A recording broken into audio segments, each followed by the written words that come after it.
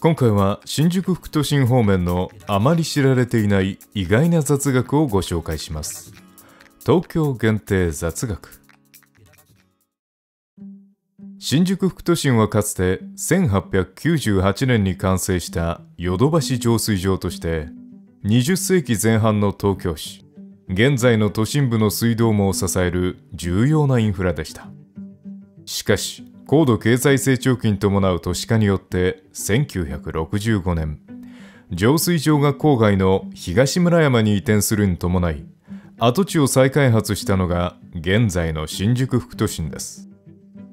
昭和の時代には日本の発展と未来の象徴として数々の映画やドラマのロケ地となりましたが現在においては少しノスタルジーを感じさせる雰囲気が漂っています。なおこのヨドバシで創業したことから有名な家電量販店の名前はヨドバシカメラとなっているのは雑学界隈では大人気のネタですがヨドバシカメラについては次回ご紹介します。新宿副都心の入り口ともいえる新宿駅前にそびえる建物。こちらは皆さんもご存知新宿国運タワーです。正式名称モード学園国運タワーは2008年完成。設計は建築界の巨匠丹下健三の息子である丹下則隆。氏高さ203メーター地上50階。地下4階を誇るこの建物は名前の通り専門学校としておなじみのモード学園をはじめ運営母体を共にする複数の学校が入る複合教育施設となっています。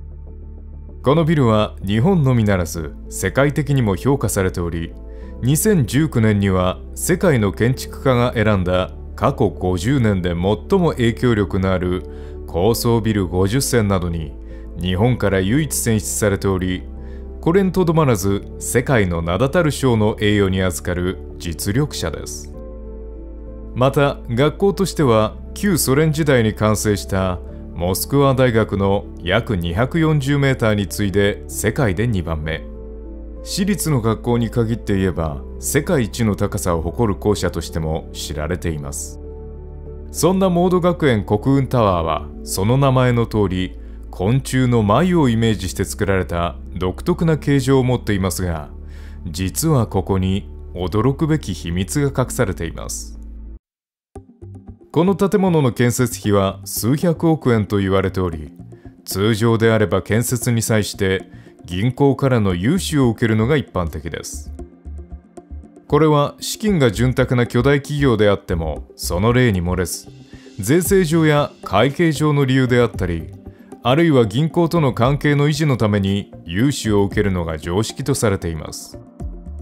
ところがこのモード学園国運タワーなんと当時の学校法人モード学園が全額ポケットマネーで建設しています。その理由はこの独特な形状にありました。通常融資を受ける場合銀行はお金を出すだけでなく建物の構造にも口を出します。なぜなら銀行は貸したお金が返ってくることを心配する必要がありそれには建物がお金を生み出しやすい形である必要があります。それはつまりオフィスや店舗などどんなものにも使い勝手が良くかつ建設費もかさまない無難な形状であることが大切です。そのため世の中の多くのビルは使い勝手と建設費が抑えられる四角い形状が基本となっています。この場合たとえお金を貸した先から返済が滞り銀行が建物を差し押さえた場合においても無難で使い勝手のいい物件の方が売りやすいため銀行は建物の形に口を出すのです。しかし当時のモード学園はファッションやデザインの学校に四角い無難な建物はふさわしくないと考え多くの学生たちが憧れるような個性的で奇抜な校舎を実現する必要がありました。そのため誰からも口を出されないよう建設費全額を自己資金で賄う決断をしたわけです。そんな大胆な決断はどうやら功を奏したようでモード学園は現在多くの学校が入学生の不足にあえいでいる中で毎年多数の志願者を集めそして建物としても世界的な注目を集めるなど名声を極めています。さてそんな国運タワーの後ろ側にはモード学園ほどは奇抜ではありませんが裾が広がった少し個性的なビルがあります。これは損保ジャパン本社ビル。1976年完成地上43階地下6階高さ200メーターのビルは損保ジャパンの前身。安田火災海上保険の本社ビルとして建設されました。なおこの建物の特徴的な外観はアメリカはシカゴに1966年に完成したチェイスタワーとそっくりです。これは当時の安田火災海上保険の三好武雄社長が新社屋建設のために世界中を回り最も印象に残ったシカゴのビルをそのまま再現させたため現在の価値観からするとアウトな気もしますがそれが時代を感じさせます。そんな損保ジャパン本社ビルはほとんどの時代この建築物よりも建物の中にあるものに注目が集まってきました。それがゴッホのひまわりです。オランダの芸術家フィンセント・ファン・ゴッホは37年の生涯で2000枚以上の作品を残しており現在では世界的なアーティストとして歴史に名を刻んでいます。しかし彼が生きていた時には売れた絵が1枚しかないという本人からすると非常に不遇な人生を送っておりそれもあってかゴッホは生涯精神的な不調に悩まされ続けました。そんな彼が描いたひまわりはゴッホの代表作として名高くこれをバブル絶頂の1987年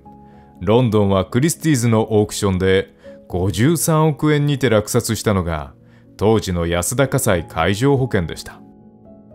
この額は当時の絵画の取引としては史上最高とされており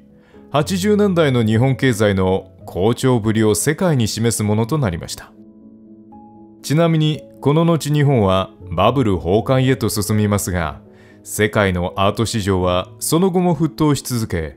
2019年にはレオナルド・ダ・ヴィンチのサルバトール・ムンディが4億5000万ドル。当時のレートとしては約510億円で落札されるなど現在も順調な成長を見せています。そんな芸術界における人気者ひまわりを日本の保険会社が購入した理由は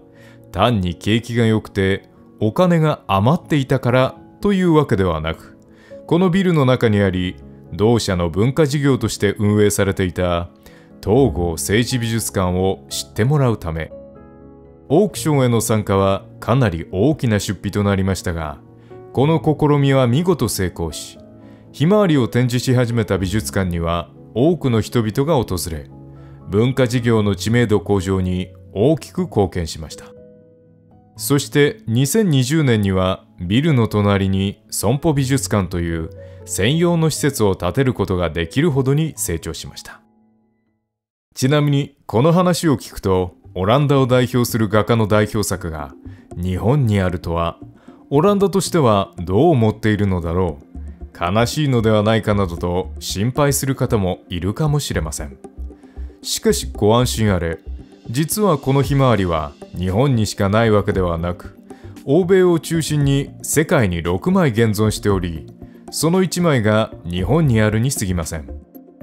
なので本国オランダのゴッホ美術館にもひまわりの絵がしっかりと展示してあります。このように複数のひまわりが存在する理由はゴッホが自身の性格とは対極的な陽気な雰囲気を醸し出す花であるひまわりを好んでいたからとされており花瓶に生けられた太陽と形容される夏の花の絵は現状7枚制作されたことが分かっています。そのうち1枚は戦前兵庫県の実業家により日本に持ち込まれましたが1945年の阪神大空襲により消失したため残念ながら現状残っていません。ところで安田火災海上保険がひまわりを購入した際に当時の社長が死んだら棺桶に一緒に入れて焼いてくれ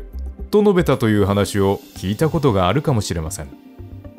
これはしばしお金持ちの利己的な発言と捉えられると同時に現在においてはバブル期に浮かれすぎた当時の日本人の自己中心さを象徴する発言としても取り上げられたりします。ところが実際には安田火災海上保険の当時の社長はこのような発言をしていません。考えてみればこの会社の当時のトップである後藤康夫氏は保険会社の社長ではあるもののオーナーではなく53億円を払ったのも会社のため自分と共に絵を仮装する権利はないのです。ではこの発言は勝手に面白おかしく創作されたデマなのかというとなんとそうでもありません。実はこの発言を実際にした人物が他にいました。その人とは現在の日本製紙。当時の大昭和製紙の創業家の一人斎藤良栄氏。彼は1990年にひまわりと同じゴッホの作品「医師ガジェの肖像」とフランスの画家ルノワールの「ムーランドラ・ギャレットの舞踏会」の2枚をオークションで落札。その合計金額は244億円に上りひまわりの記録をあっさり超えたことで話題となりました。そして当時インタビューを受けた斉藤氏はこう発言したのです。日本まで見るルノワール。ゴッホはいいよ。死んだら棺桶に入れてもらうつもりだ。これは世間から芸術に対する大いなる冒涜だということで大きな批判を浴びることになります。ところが彼が購入したゴッホの医師ガジェの肖像はひまわりと比べるといささか知名度が劣るためいつしかひまわりに対しての発言だと世間で間違って認識されるに至ります。そのため保険会社は文化事業として購入したにもかかわらずお金持ちの道楽と勘違いされる悲しい風評被害を受けているわけです。さてそんな世界的名画がお出迎えする新宿副都心。先ほどもお話ししたように昭和の中頃まではここに都民の命を支えた浄水場が存在していました。ところでここで少し奇妙なことに気づきます。この場所のかつての写真を見てみると分かりますが浄水場一帯は非常に平らな土地になっています。これは当然水を貯めるという性質上起伏の激しい土地では不適切なためです。ところがこの場所を再開発した新宿副都心は地上の一段下にさらに地上が存在する二層構造となっておりかつ坂が存在するなど平らとは言えない構造になっています。これは一体どうしてなんでしょうか？実はここには再開発における特殊な事情が存在していました。1965年に閉鎖されたヨドバシ浄水場は再開発のため設備が取り壊され更地にされる予定でした。ところが途中その工程を阻むものがありました。それが巨大な貯水プールです。水を浄化するために設置されたこの巨大プールは深さが最大5メーターにもなり浄水場が閉鎖された時には巨大な段差となって新宿に出現しました。当初再開発を進めるにあたりこれを埋め立て建設に十分な強度を持った平らな土地にすることを計画していました。ところが実行段階における試算の結果この作業には莫大な時間とお金がかかることが分かり検討の末あえてプールをそのまま残して再開発を行うことにしたのです。この結果プールの底と地上を結ぶために道路は傾斜を描くことになりプールの縁となっている部分では一気に高低差が出現する不思議な地形を作り出しています。さてそんな副都心を進むと見えてくるのはホテルハイアットリージェンシー東京。そして注目すべきは下にある少しノスタルジーを感じさせる空間です。都会にありがちな簡易的な駐輪場の真ん中にポツンと取り残されたような電話ボックスがある何の変哲もない都会の片隅ですが実はここはあるテレビスターが誕生した記念すべき場所なのです。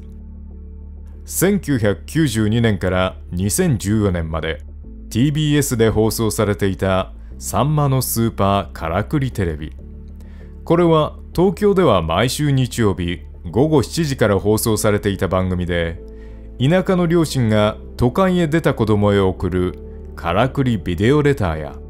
世界的名作「異邦人」を執筆したフランスの小説家アルベール・カミュの親戚にあたるタレントセイン・カミさんが街行く人に英語でインタビューをするからくり Funniest English。